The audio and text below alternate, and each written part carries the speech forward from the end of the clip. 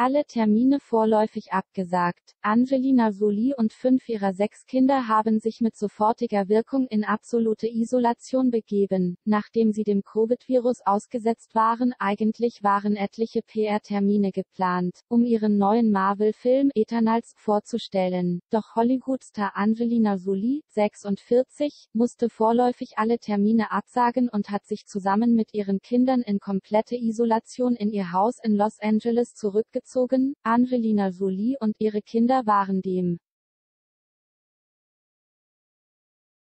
Covid-Virus ausgesetzt. Noch am Montag, dem 18. Oktober 2021 erschien Angelina Jolie gemeinsam mit ihren Kindern Maddox Foliepitt, 20, den Zwillingen Vivian Foliepitt und Knox Foliepitt, beide 13, Sahara Foliepitt, 16, und Shiloh, 15, zur Weltpremiere ihres neuen Films in Hollywood.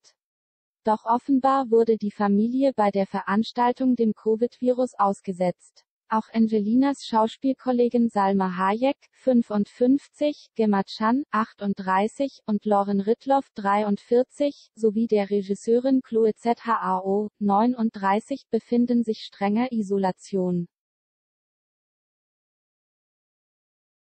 Superhelden in Superisolation Alle fünf Frauen mussten am Dienstag, dem 19. Oktober 2021 die Veranstaltung Women in Hollywood des US-Magazins Elle absagen, bei der Chefredakteurin Nina Garcia, 56, dem enttäuschten Publikum bekannt gab, die Superhelden befinden sich aktuell in Superisolation, um alle zu schützen. Ein Sprecher der Disney Studios bestätigte, dass die Schauspieler des Filmes, zu denen auch Game of Thrones Star Kit Harington, 34, gehört, dem Virus ausgesetzt waren und nun auf virtuelle Auftritte statt persönliche Auftritte umschwenken, um den Film zu bewerben, der am 5. November in die Kinos kommt. Angelina hatte fünf ihrer sechs Kinder dabei, als sie zur Hollywood-Premiere erschien.